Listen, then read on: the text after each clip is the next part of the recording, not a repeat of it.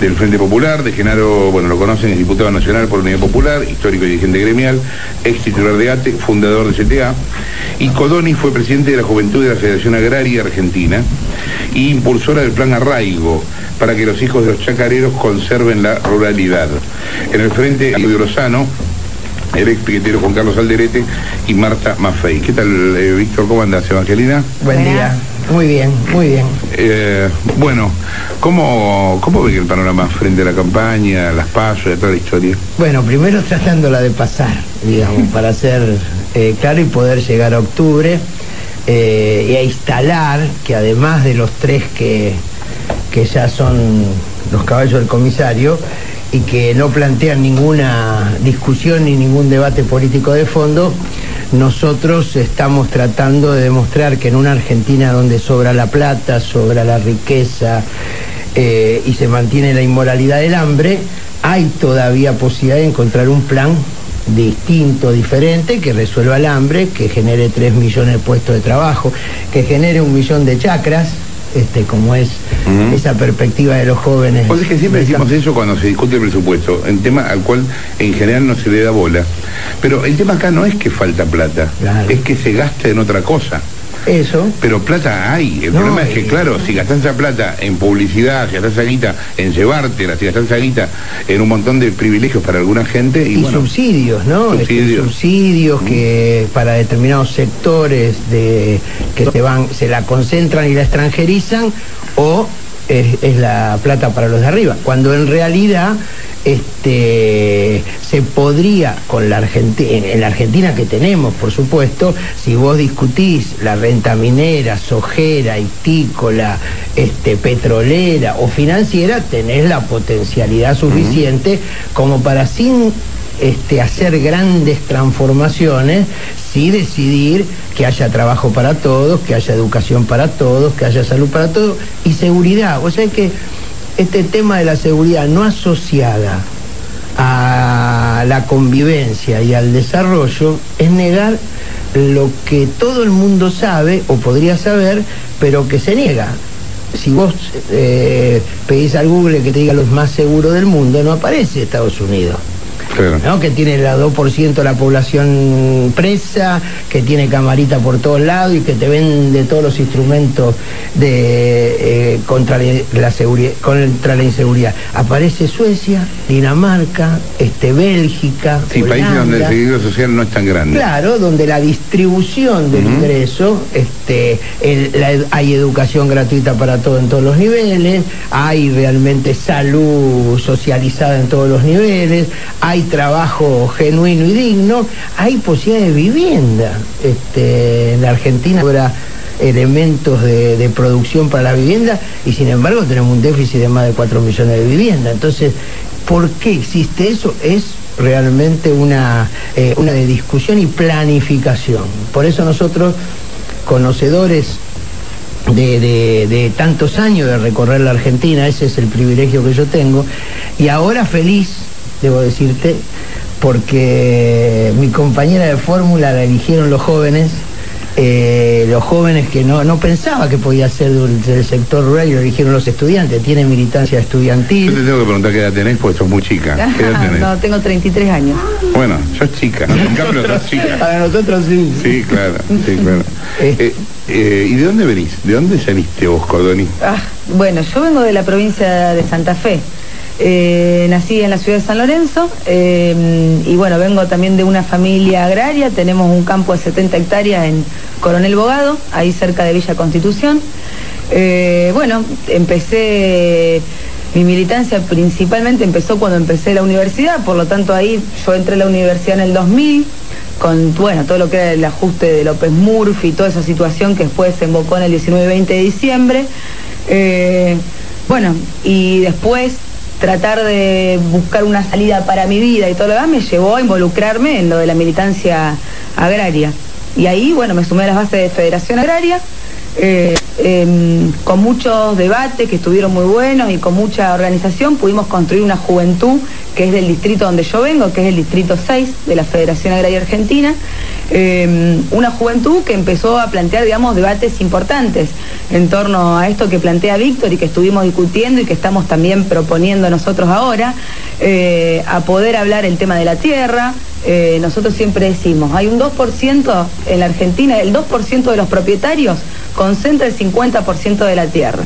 Bueno, ese es un debate que tenemos que dar no solamente para la juventud agraria, lo tenemos que dar porque en este país, como, y no es nada novedoso, quiere decir, es lo que hicieron muchísimos otros países, pero si nosotros podemos dar un debate en torno a qué tipo de, de modelo agropecuario tenemos, a partir de ahí podemos dar un debate para industrializar la Argentina, a partir de ahí podemos dar un debate para agregar valor, a partir de ahí podemos dar un debate para generar nuevos puestos de trabajo. Entonces tiene que ver una cosa que nosotros en Federación Agraria siempre decimos y que venimos trabajando desde ya eh, los últimos años en el tema de, lo, de la multisectorial, nuestro, nuestra propuesta no tiene que ser una propuesta sectorial que sirva eh, para salvarnos nosotros mismos. Tiene que ser una propuesta que sirva para unirnos con el resto de los sectores. Y me parece que lo que tiene bueno este frente es que, bueno, va a esperar bien que eso que por ahí pudo protagonizar eh, los paros nacionales, los últimos paros, todo lo demás, puede también estar expresado en una fórmula eh, para estas próximas elecciones. Vos tuviste muchísima actividad en los últimos años en el interior. Este, estabas todo el tiempo un lado para el otro, en asamblea, juntando gente, hablando con la gente. ¿Un poco la presencia de Tiene que ver con eso, como resultado de eso? Tiene que ver con eso. Eh, y tiene que ver con construir un partido nacional. Es muy difícil. Eh, vos sabés que se pelean, ¿no? Pero el PJ y el UCR hicieron con el PRO hicieron el acuerdo de la nueva ley electoral. O sea, ahí se pusieron de acuerdo y perjudicaron a todos los partidos chicos o nuevos y por lo tanto hacer un partido nacional implica muchos inconvenientes. ¿Qué se piden para hacer un partido nacional? Cinco provincias con el mismo nombre, el mismo estatuto, pero cada provincia hay reglas diferentes eh, y eso es lo mínimo. ¿Cuánta gente tiene que tener afiliada? Y en estos momentos, por ejemplo, Unidad Popular, el partido nuestro, tiene 62 mil afiliados. El partido, el partido del Trabajo y el Pueblo, que preside Juan Carlos Alderete, con el cual hicimos el frente, debe tener más de 35 mil afiliados.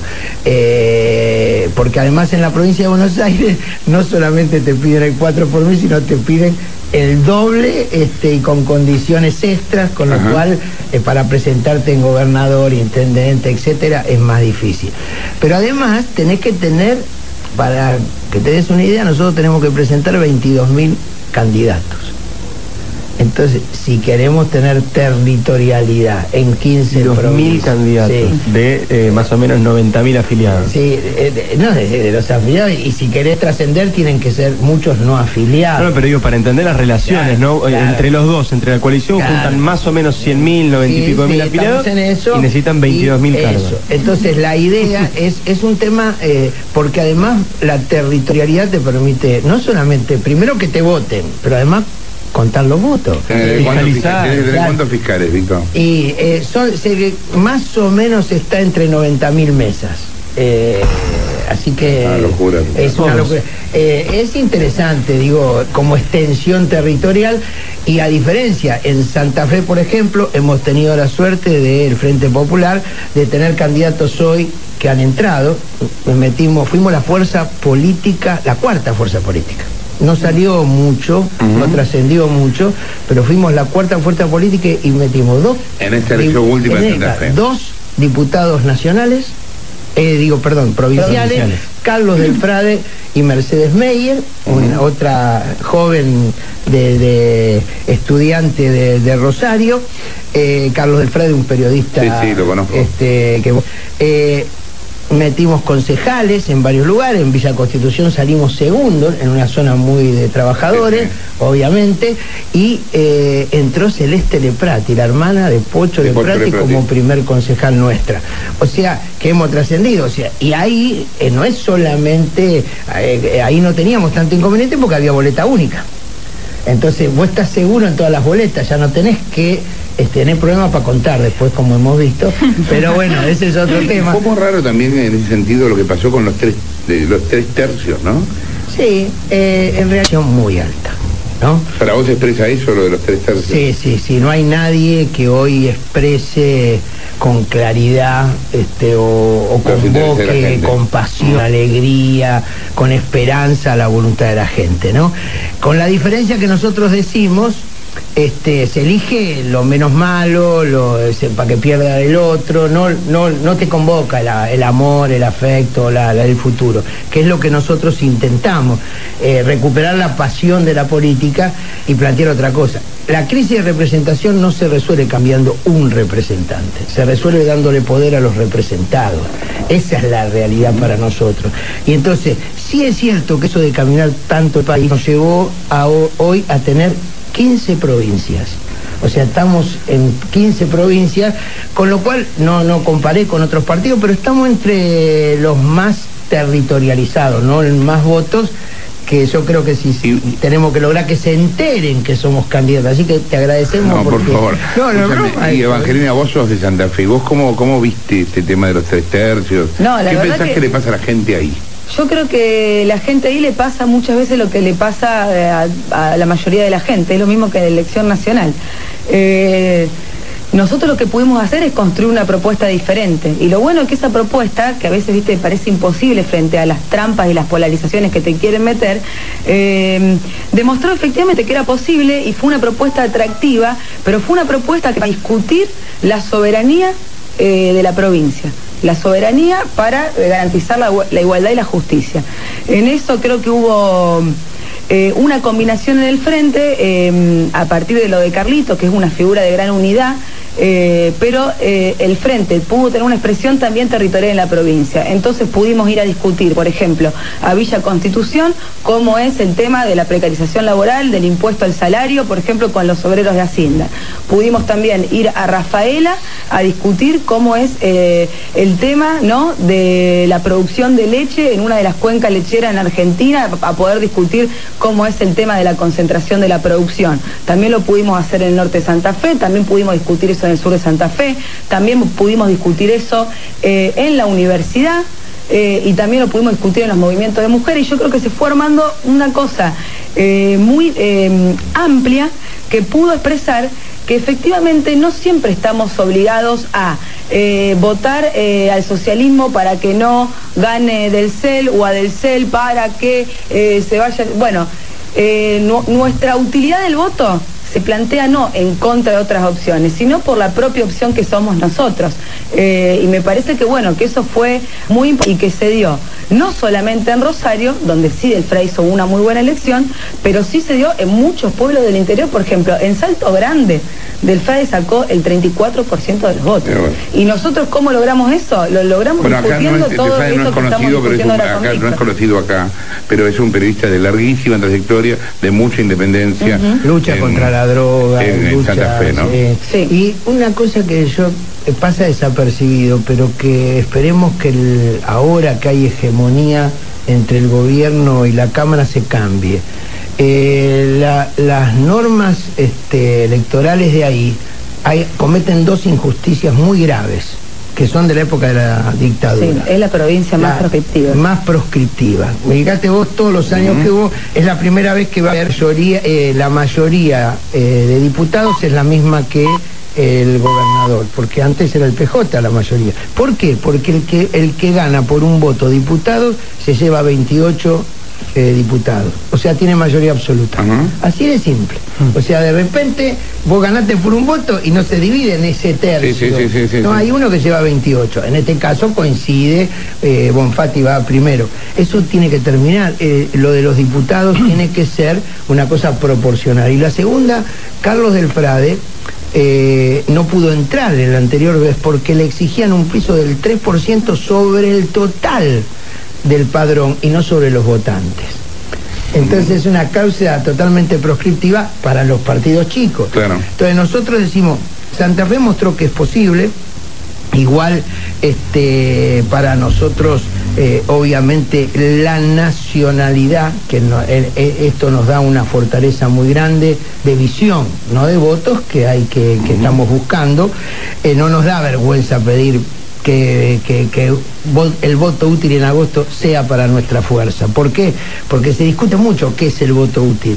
Y nosotros decimos, el voto útil es votar en agosto donde no hay este, ningún compromiso se acaba, ahí votá lo que decíes, votá lo que te gusta. Ese es el voto útil que lamentablemente se lleva a decir, no, este, hay que votar a uno para, para perder. ¿no? Me dan un segundo, vamos con el informativo y seguimos. Estamos hablando con Víctor de Genaro y Evangelina Codoni, candidatos a presidente y a vice del Frente Popular. En un segundo venimos, dale.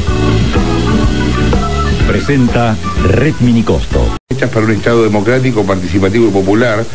Eh, uno, recuperación económica ya, pero con justicia social. Dos, otro modelo de desarrollo. Tres, basta de hambre. Cuatro, un Estado presente, economía, salud y educación.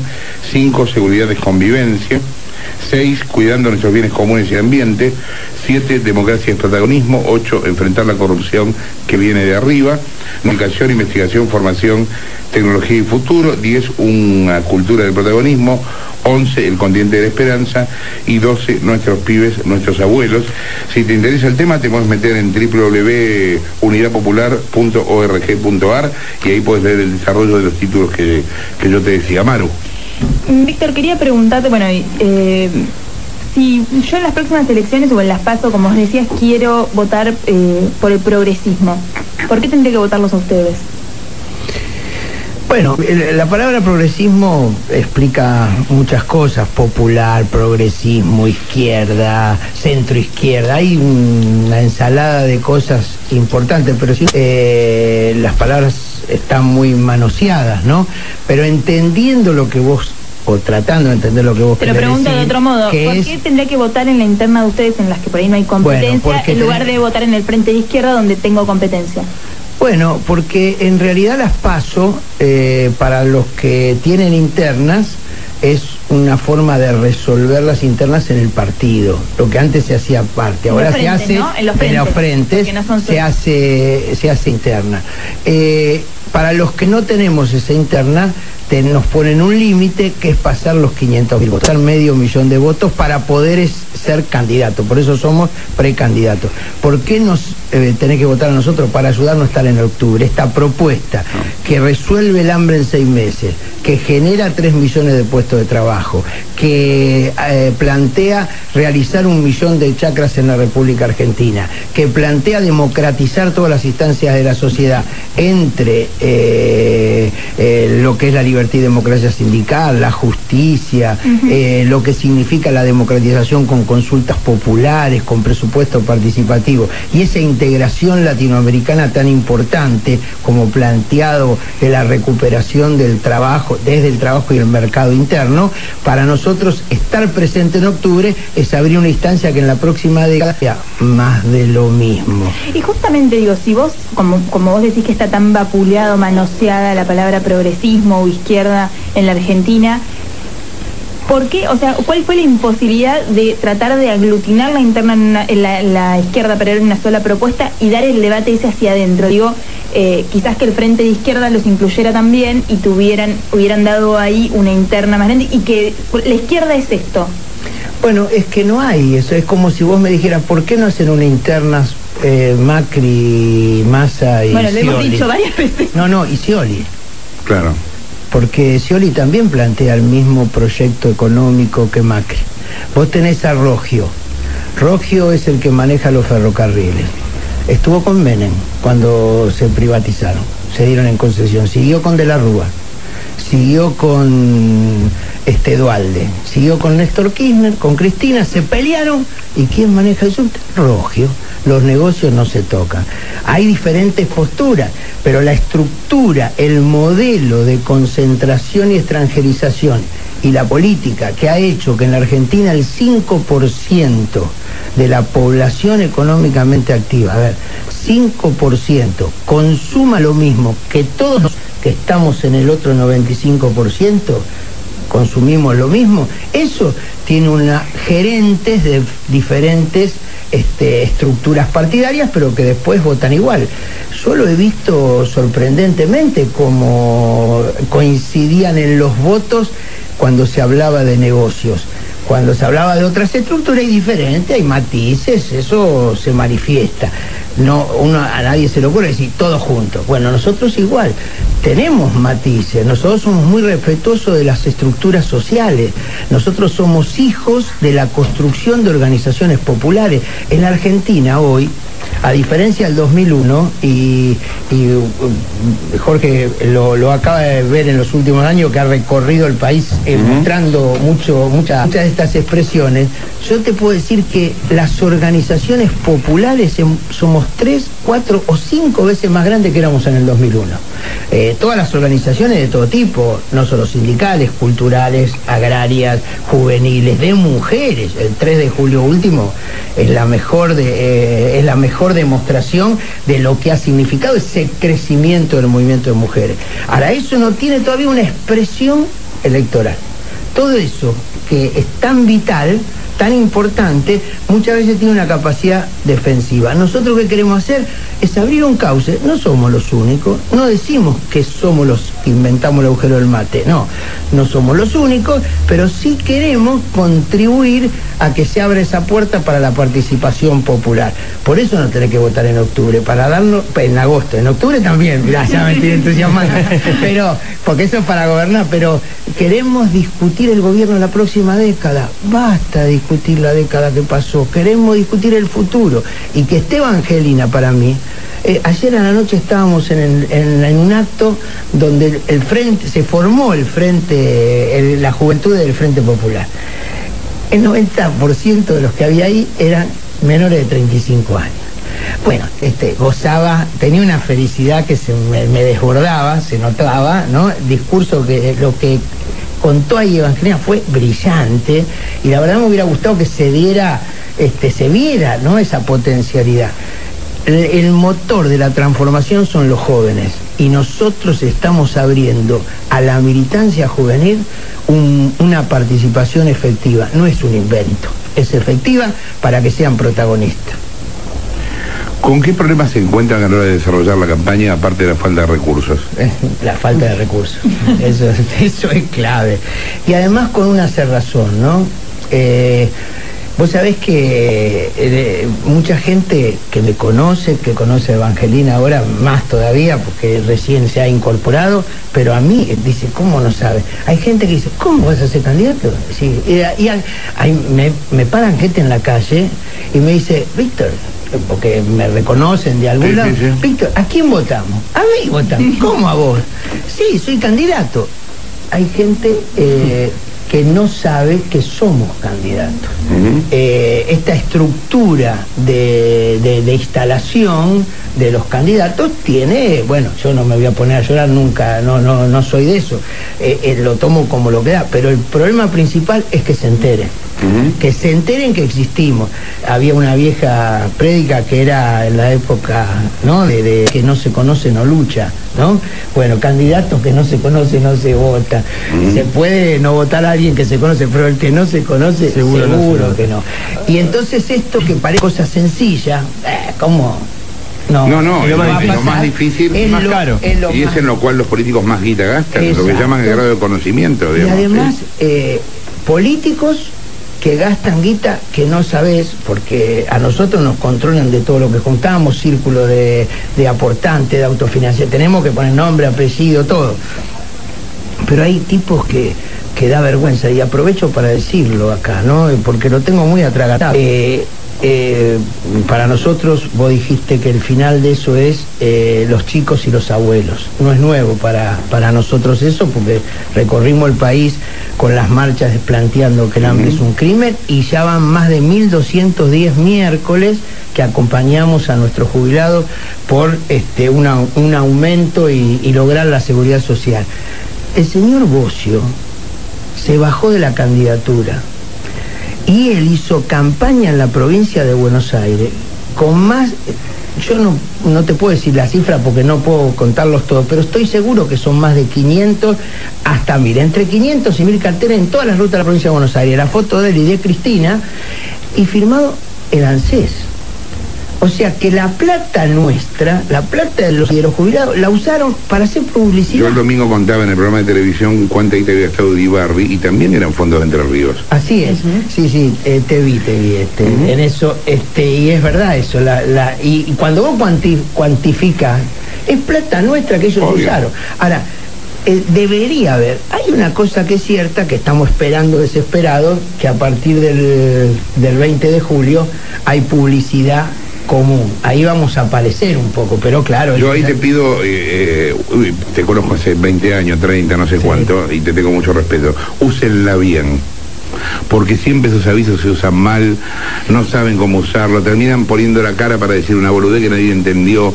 Eh, piensen bien qué van a decir, porque tienen poco tiempo, pero yo nunca vi desaprovechar tanto un mensaje como las, los avisos electorales, siempre se usan mal. Y los que los usan bien son los otros, los que tienen la plata, porque claro, tienen tantos avisos que bueno. Y tienen la plata también para contratar a alguien. También la para contratar a alguien que les diga cómo hacerlo, pero piensen particularmente en eso, porque es la única oportunidad que van a tener, entonces, viste, aprovechenla bien, ¿no? Sí, eso vamos a mm. tratar. Y aunque ahora este, esta irrupción de, Evangelina eh, mm, ha significado nuestra presencia en las redes. Eh, es impresionante, yo estoy sorprendido, ¿no? Eh, hemos triplicado en los mensajes.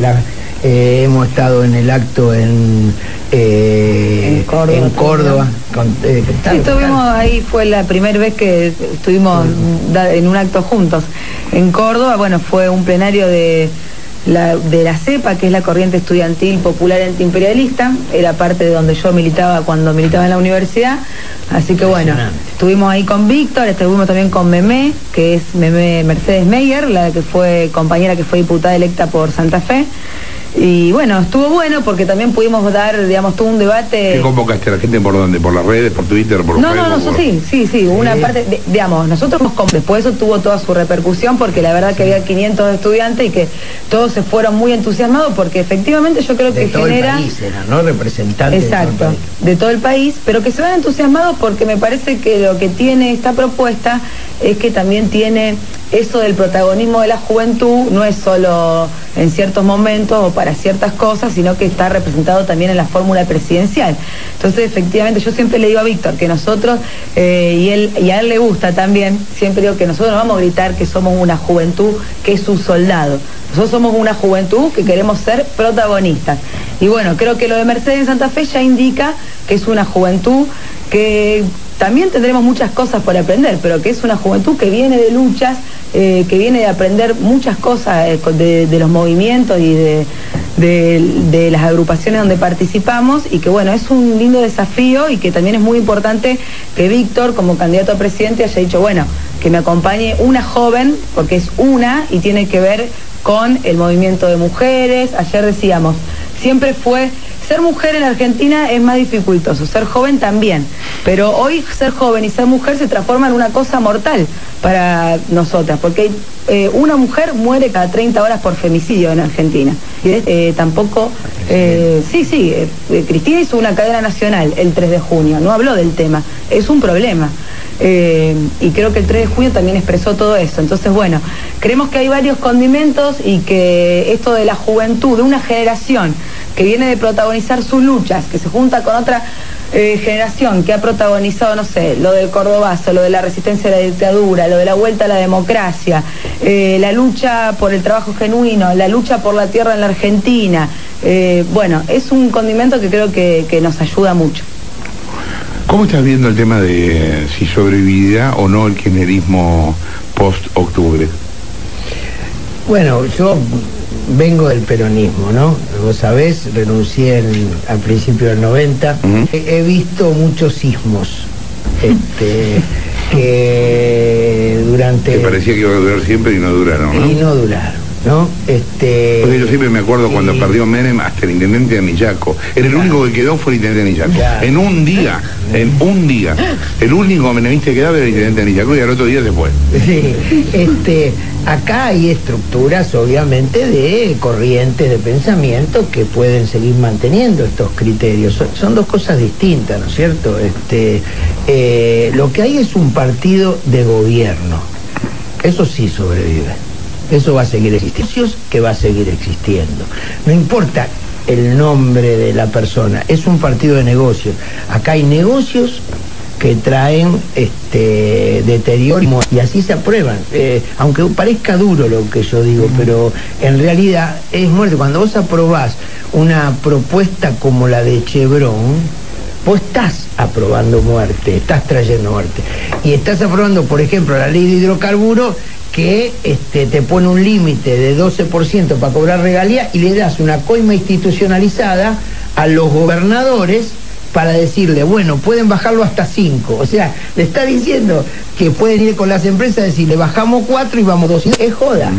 O sea que hay una política que es el partido de gobierno. Y por eso se, arreglan de esa manera. Vos fíjate que cuando eh, Ah, todos se alinearon y ahora son todos ciolistas de la primera hora. Y ni te digo cuando tenga el gobierno, ¿no es cierto? Cuando sea presidente de la República, si gana. Si es Macri, será otra perspectiva, o si es Massa, o si somos nosotros, seguro que va a ser otra, no solamente perspectiva, sino va a abrir otro espacio político diferente. ¿Con qué nos encontramos nosotros? Eh, ese es el otro problema que tenemos. Eh, la falta de recursos. Pero yo te digo algo más eh, difícil de discutir, que es ustedes, ustedes tienen razón que en la Argentina sobra plata, que en la Argentina sobra riqueza, es fácil, pero no se puede. No se puede. Eh, eso es muy ingenuo, eh, muy tonto, no se puede y no se va a poder. El no se puede, el imposibilismo, es un tema pesado. Venimos, somos un pueblo de sobrevivientes. Hemos resistido desde los primeros de hace 500 años hasta todos los genocidios que hubo y, el, y somos sobrevivientes. Yo me siento orgulloso de ser sobreviviente y de ser de un pueblo sobreviviente, no de un pueblo de tarados, de un pueblo sobreviviente que trata de ver qué es lo mejor para seguir sobreviviendo. Yo sí creo que por ellos, y por eso es tan importante la presencia en la fórmula, pero sobre todo para discutir a fondo, que tienen derecho a vivir yo puedo estar peleando eso y creyendo que pueden ser felices mis nietos, porque fui feliz. En mi barrio, donde, donde soy, Lanús, donde se criaron mis hijos, donde eh, yo mismo me crié, la seguridad era el barrio. Vos salías a la calle, eras feliz. Yo me eduqué y me formé en el club donde fundó mi abuelo, enfrente de la iglesia donde nos llevaba de campamento. La escuela era lo que nos abrigaba. Había por ser feliz. Bueno, los argentinos podemos ser feliz, no depresivos, no este, amargados. Y esa felicidad hay que pelearla. Y la mejor forma de pelearla es creer que se puede. Nos han tratado de convencer que no se puede. Es difícil. Yo no, en eso no mentimos. Además, hemos peleado mucho durante mucho tiempo. es difícil? Sí pero no es imposible. Entonces, pelearle al no se puede de la militancia, de las estructuras partidarias, sindicales, comunicacionales, estudiantiles, a niveles intelectuales, es uno de los temas más importantes. ¿Por qué me tenés que votar? Porque la mejor forma de creer que se puede es que ganemos. Si no ganamos, es la mejor forma de hipotecar el futuro. Si ganamos, viva el futuro en Santa Fe, hoy están agrandados. Los compañeros están pensando en cómo van a organizarse y Celeste está abriendo instancias para, para eh, cómo participan los jóvenes en pelear a la droga. Mercedes está discutiendo cómo va a ser en el Congreso. Hay esperanza. La injusticia no transforma la realidad.